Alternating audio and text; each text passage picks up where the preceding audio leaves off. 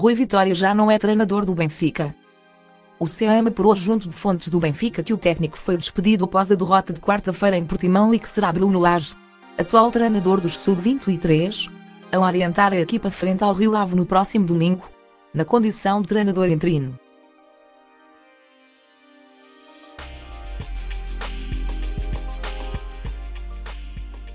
A notícia surge cerca de um mês depois de Luís Filipe Vieira ter segurado o treinador após a goleada sofrida na Alemanha contra o Bayern de Munique, em jogo da Liga dos Campeões.